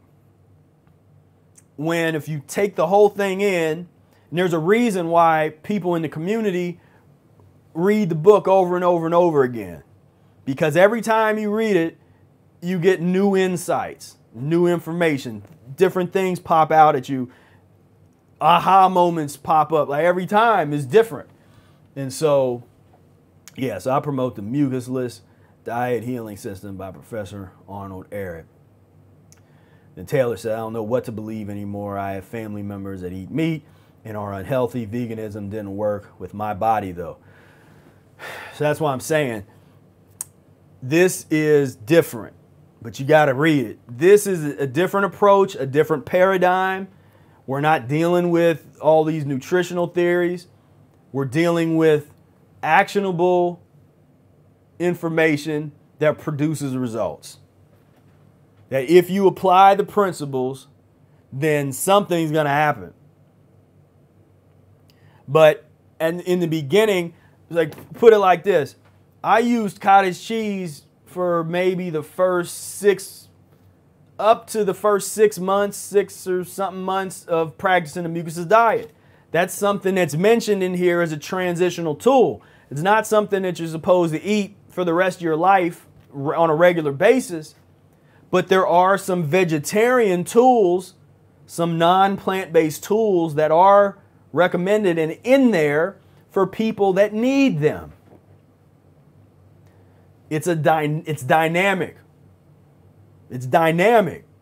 You, where you can go from like I said, some of the, the worst kinds of eating that you can imagine, and you can use these principles to get into higher levels of fasting, to high levels of the fruit, the raw foodisms, kind of things and everything in between. But people don't like the in between, and that's where I like to be at. I live there because that's where the work is done, is in the middle. Learning how to really navigate those waters. That's where a lot of work gets done. Let's see, here's a question. What are your thoughts on Gabriel Cousens' claim that eating a, a fruit based diet creates pathogenic response? and thus produces uh, mycotoxins in the blood. My thoughts are I don't agree. I don't agree with uh, with Mr. Cousens on that one. And you know, he was one of the first raw foodists that I was really exposed to. Was I met somebody that would that had studied with him, had taken his course at his ranch down in wherever they're at in Arizona or New Mexico or something. And she went down there and and came back. And the thing that I really loved about their methodology had nothing to do with diet. I liked that he was getting a lot of the people that he trained to go back to their communities and to create meetups, like raw food meetups, but that would attract people that weren't raw foodists. It was just kind of like take an outstretched hand saying, "Hey, we're having some free food. Come and hang with us." And she used to have these the little raw food meetups, and I thought that was really cool. Like I like that. I, I respect that and appreciate that approach because you're because it, it's taking action. It's not waiting around to like, oh, let's see if what happens. It's like no, it's you you learn the ideas and the information and go out there and create something. Invite people into your world. Give them a chance to experience it. You know, try it on for size. So I really appreciate that with uh, Gabriel Cousens. Uh, but when it comes to you know the, the theories on fruit and the detoxification, we're, we're going to have some differences of, of opinion on those kind of things. We are kind of a non-supplement type of mentality. Most of us don't use uh, supplementation. A lot of us don't really get into the herbs, and and it's not like required. With some of these groups, it's required that you better have a couple grand ready to buy all this stuff. With us, it's like I mean, you can get a, a fifteen dollar book, but you just got to go to the store and just start stocking up on produce and combining it the right way and uh, you know get a twenty dollar enema bag, something like you know there's it's it's a different you know it's like I'd rather see people instead of getting a you know three hundred dollar order of supplements and all this kind of stuff. Just put that three hundred dollars aside. Get boxes of lemons for or limes if you hate if you're scared of lemons and whatever. Get you to do your enemas or get boxes of stuff to juice, get boxes of apples and oranges, or you know, and, and, get into your juicing. I mean, that's the kind of mentality. But but yeah, as far as that goes, yeah, the fruit. Now, I we the diff the difference here is that I'm an advocate of tra- of long-term transition. So I'm not pushing people to get into a fruit diet quickly as you go along on your path, you may have periods of time where you eat nothing but fruit, but that's going to be within the context of a larger transition. And so once you start to get into that, because I don't advocate for fruit only diets like that you have to rush into that and eat because humans were designed to be fruit eaters that we have to get to that very quickly, uh, or, and most people won't get it in one lifetime. Now, where I'm different is I'm interested in the generational effect of transition. So, even if you practice an average baseline transition, but you have some children, if you've cleaned yourself up, your children are, you actually have children cleaner than you. Today, that never, that very rarely happens. Most people have children that are uh, degenerated physiologically and cleanliness wise are are a rung under their parents. What you can what we are can do on this path, start to transition, clean yourself up. You have some children and bring them up on the mucusless diet. Now you are transforming humanity. People want to try to transform things themselves like they're just I'm going to be a fruitarian and who cares what you're doing? I want to know did you clean yourself up, have children and then what and then I'm interested in their children because that's when we can start to talk about uh, the human species that know that does not know what disease is. But we're not going to do that in our generation or the next generation two to three generations, we can have that conversation. We can have the conversation about disease is a thing of the past. It's been worked out of the human genes It's been worked out, but it's going to take some generations.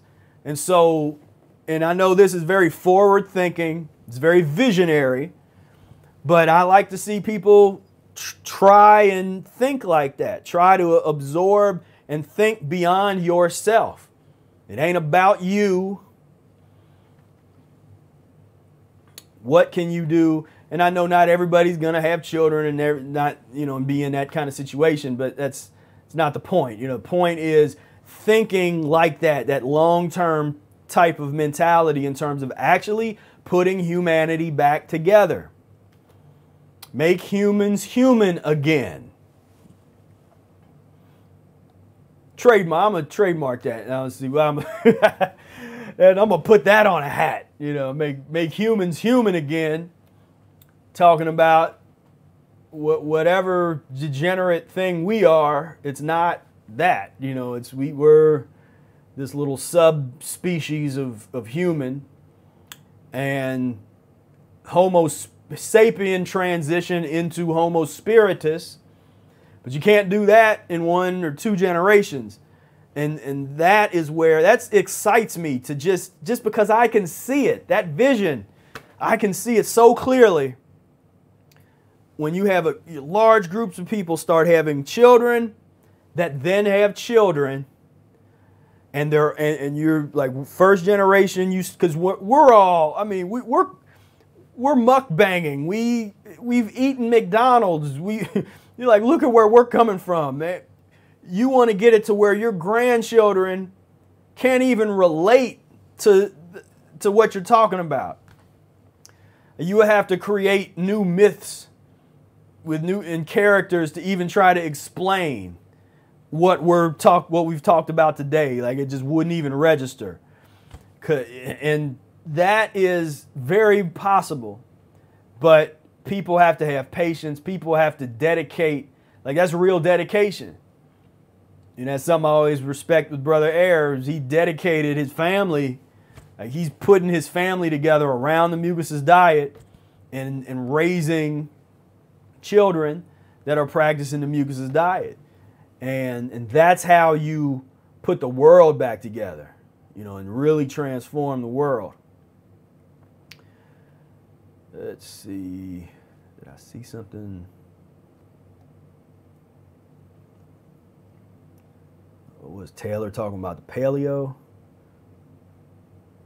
Uh, oh, Sophie just said stay stay away from paleo. Yeah, I would stay away from. They, it's like they change the name of it every several years. Of it's basically a similar, and they'll try to change the theory behind it. But it's like you know Atkins diet, then paleo, then keto, and carnivore, and they just it's all it's all bad, all that stuff. It's just all it's just bad news stuff there.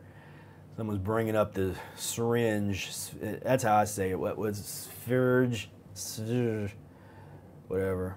Um, what do you think about him uh, in his diet?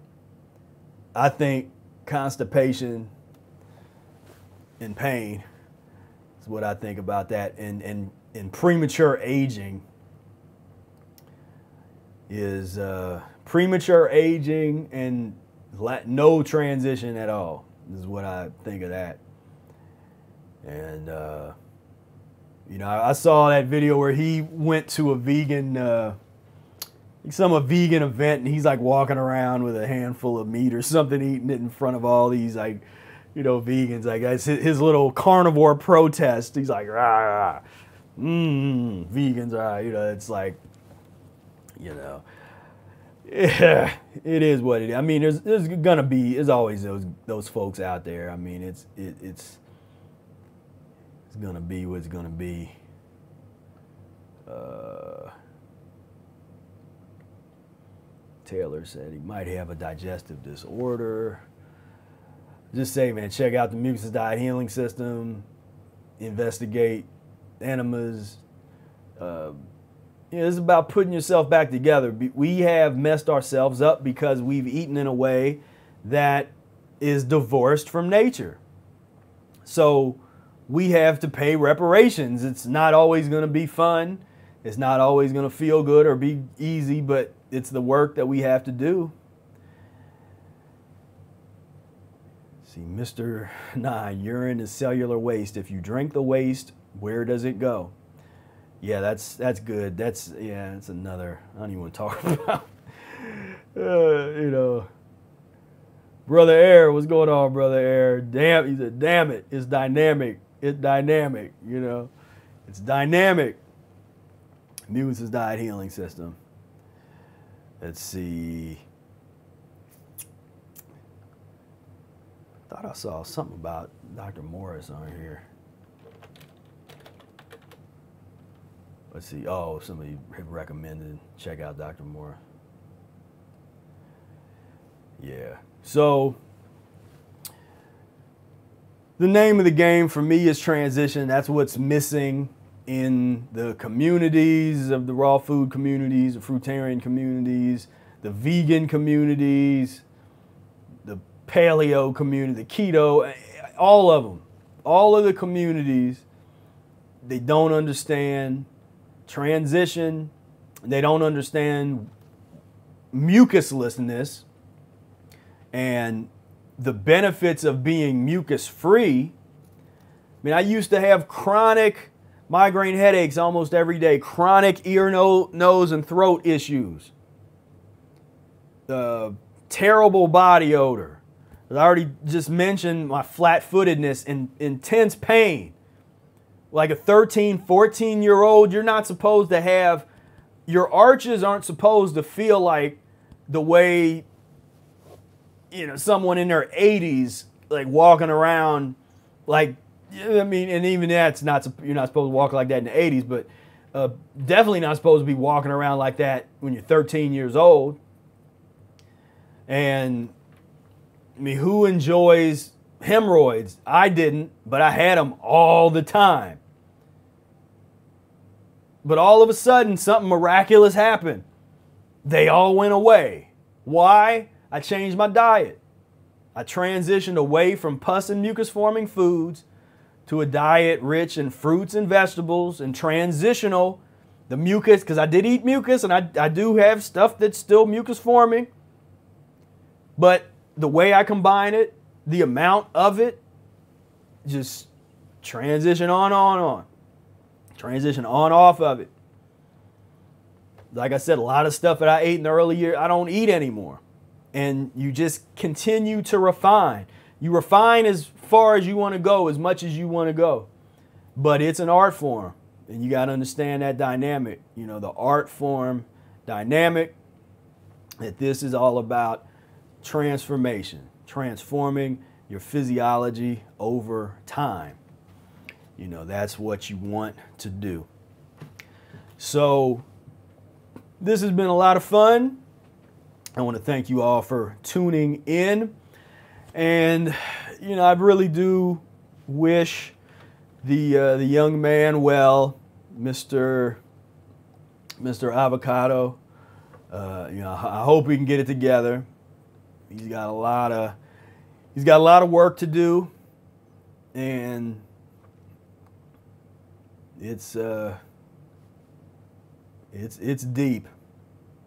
But this is kind of a microcosm of what's going on. And as I said, ex vegan eats burger for the first time in 10 years. So this was, I guess, when he went to. It's just so weird. You just do videos of yourself just eating.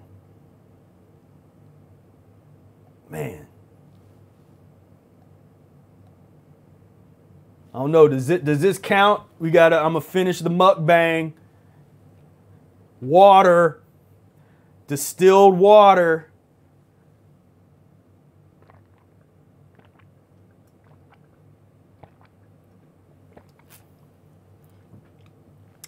Was that mukbangy? Was that mukbangy enough? I just drank some juice earlier and some water. It's mucus-free mukbang. That's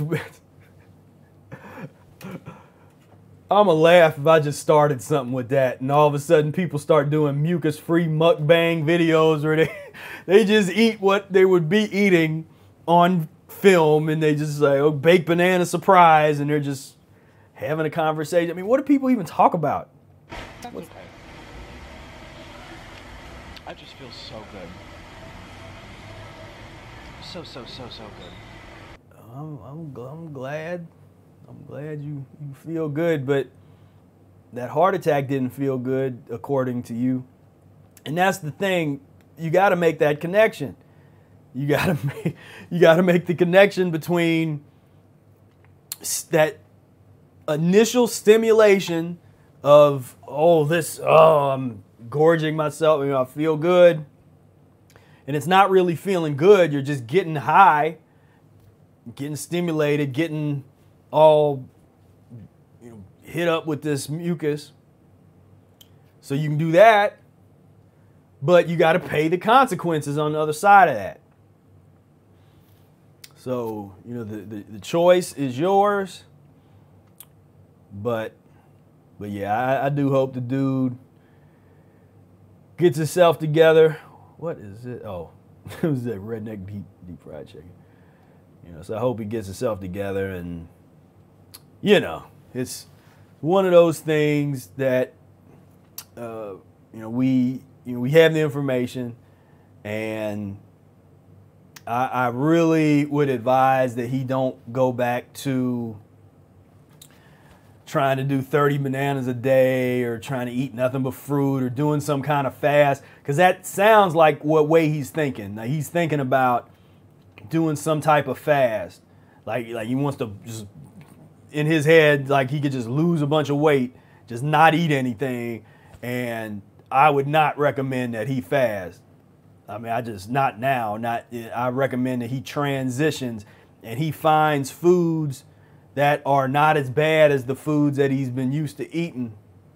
And and another even point to make with all this is uh, another reason that this happens like this is where if you raw you raw vegan for however long he was, like a couple years or something, as I've also seen it with other people, the relapse is so insane. And that's what it's like you we literally have three YouTube channels of of a raw vegan relapse. He could you could rename this raw vegan relapse. What ha- and, and subtitle what happens when you don't transition. No one would you know it's like no one told you to eat six avocados in one sitting there's a reason why you didn't feel good. Don't blame it, you know, the he wanted to blame veganism or plant-based eating on the what he was feeling. Where he was going through whatever he was going through. But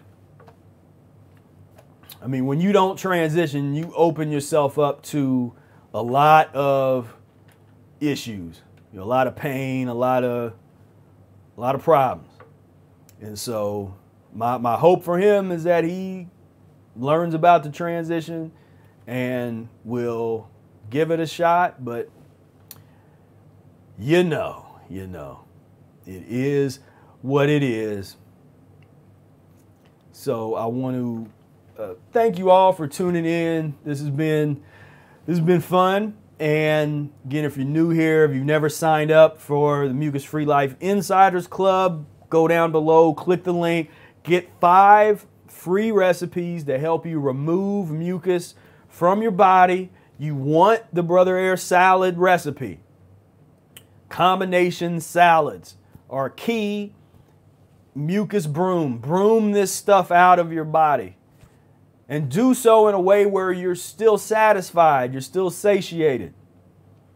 This is not a a pain. This isn't supposed to be like a pain, you know, being real stoic and um, hard, you know, kind of thing. This is supposed to be a gentle therapeutic process. But you got to invest that time. And again, the main thing that I see with a lot of folks that are raw food is, is, is letting go of that dogma and opening your mind up. letting go of nutritional dogma, letting go of raw dogma, letting go of that stuff to be pragmatic. The mucusless diet healing system is the most pragmatic of all of the plant based diets or healing systems or lifestyles. It's pragmatic. It's not one size fits all. It's going to be different for each person.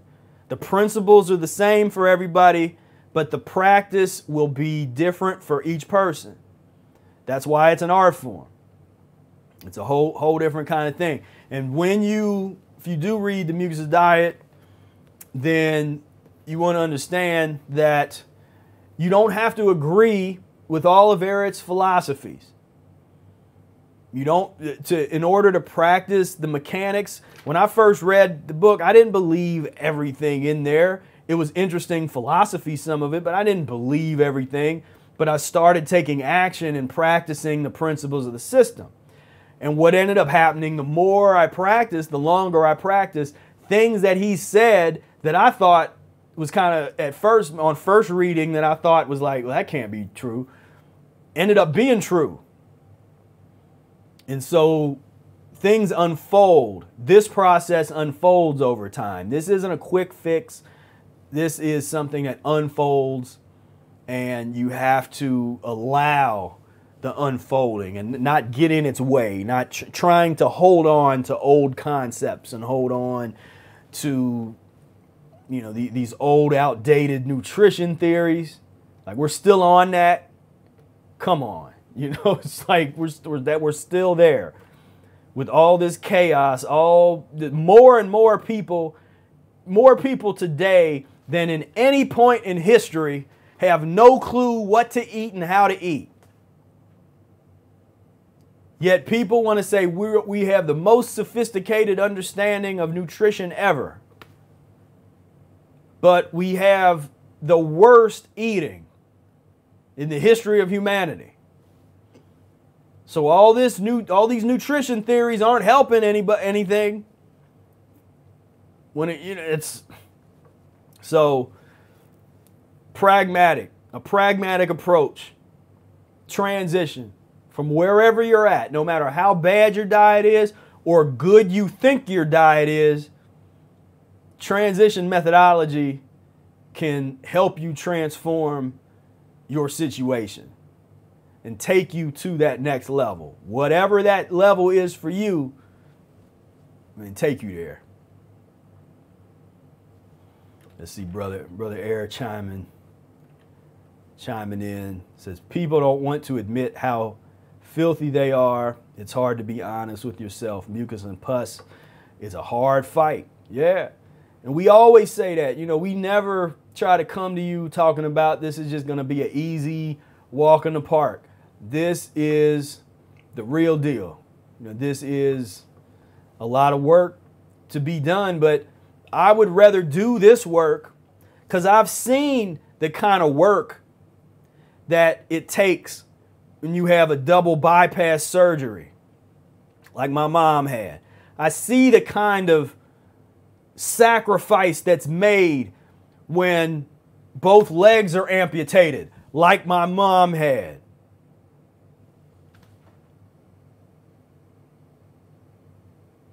So, sacrifice. I've been to the hospices in the old folks' home and the hospitals.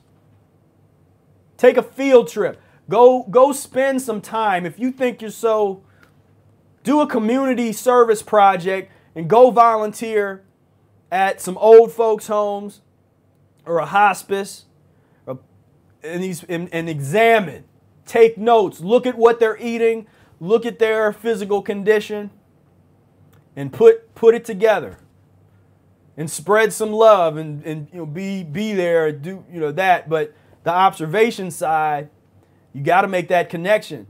Is that the future that you want? Because that's not the future that other cultures of people have had.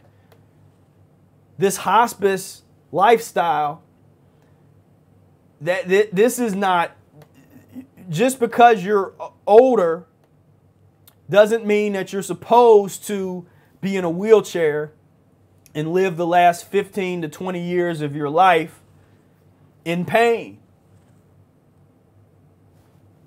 That's not a rule. And the kinds of illnesses that we have now and that type of painful exiting that's not that's that's that's new, you know, in terms of the legacy of humanity. That's new. Now, I don't want to try to get into one of these historic the history debates where people start, well, we're in better shape than we ever were in hit. No, that's Eurocentric, European bait. It's like going all all you did was just you went back to Greece. Ancient Greece, which was brand new compared to ancient Egypt, which is brand new compared to Ethiopia. And then we go back even further in places that might be covered over by water. We don't know. We know a very little about the real history of humanity. Going back huge, huge gaps. And so this thing is doesn't have to be like this. We don't have to go through that type of pain and suffering. But you got to have that, you got to understand all that. You got to make that choice that is what is more important to you. Would you rather be able to live a bit longer with less pain and eat more fruits and vegetables now and, and stay away from the Big Macs and the hot fudge sundae?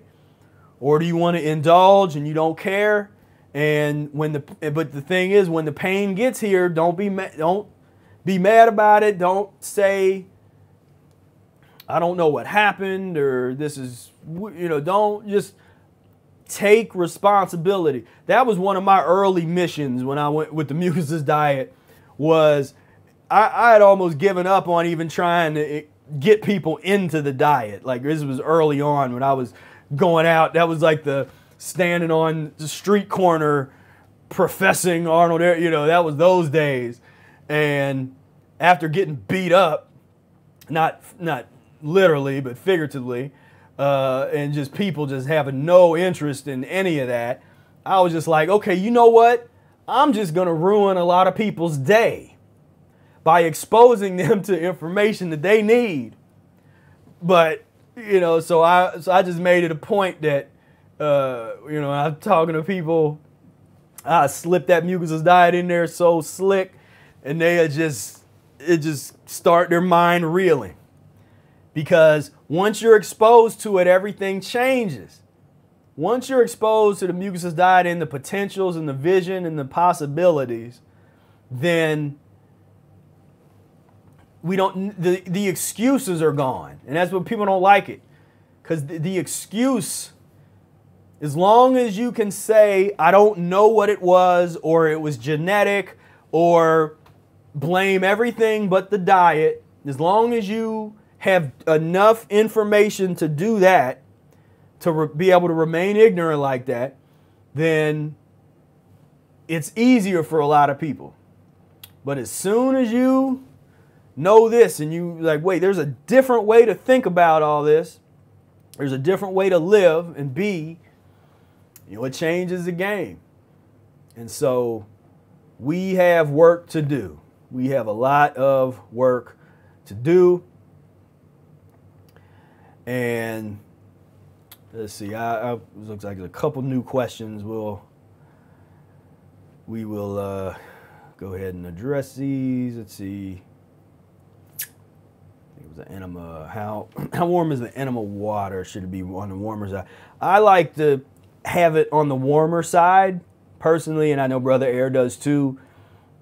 But I always test it with my finger when I'm heating it up, and I just put my finger in, and I know how warm it is. But it should be about like taking a shower, or you, know, you don't want it to burn you. You know, you don't want to put your finger in and it's and it burns but you want it warm enough where it's definitely got a good warmth because that helps with uh, really that that elimination process, you know, that, that warmth uh, causes a better elimination. Let's see. He was asking about the bag bucket not too high above the body so the pressure of the incoming water does not irritate the sigmoid colon right away. So that just that just depends on where you're at because with me, I like that pressure.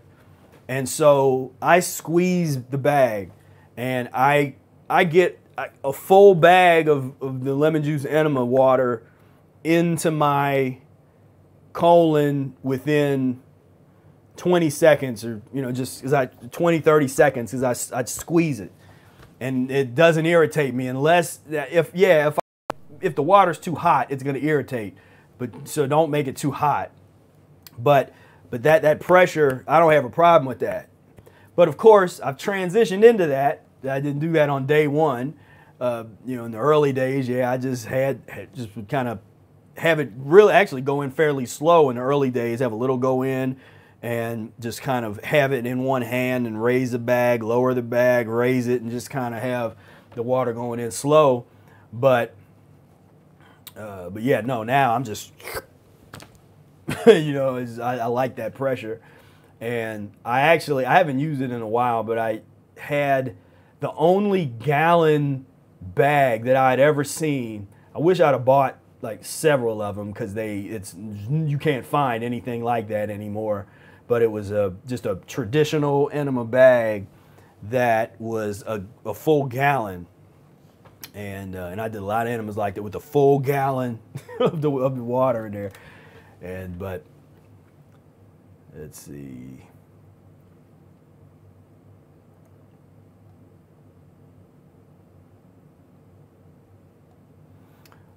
Oh, is oh, is, oh, she wasn't asking me. She was uh, responding to maybe responding to somebody. But uh, but yeah, but that's my two cents on it. But yeah, I mean you're right. You, if people are having it too warm, yeah, you, you don't want it to be too warm. And if you're getting started, what Aranka said is correct as far as uh, letting it you know, letting the water in gently and slowly until you're used to it. Once you're used to it, then it's it's on. And uh, yeah, and relax. Definitely relax and chill. Most definitely, and say and put on some good YouTube talks, Spira and uh, and and Ilatam. Yeah. So uh, so yeah. So that is the good word for today. So I thank you all so much for tuning in. Again, go down below, click that link if you're interested in really learning this stuff, we got Mucusless Diet Healing System e-course. Take you by the hand and go through every one of these lessons over the span of eight weeks, two two month long course, and it's the most comprehensive course and analysis, a college level course on the Mucusless Diet Healing System.